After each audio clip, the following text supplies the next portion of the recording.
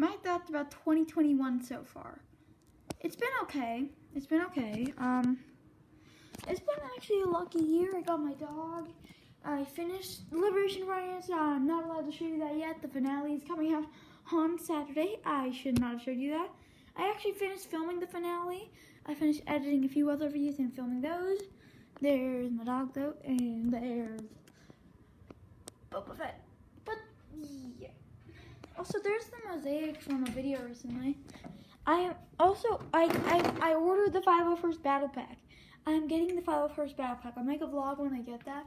It should come today, I heard, but I mean it's Prime. It should come, but um, it don't come. And I don't think it should have been here by now. But yeah, I got like a mosaic of my channel icon. Um, yeah.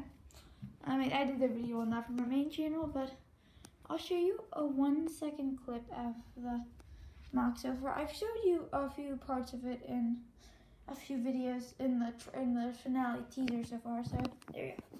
That's all we got, guys. That's all I'm showing you of the finale. But here's just a quick vlog. Dog sleeping still, and goodbye.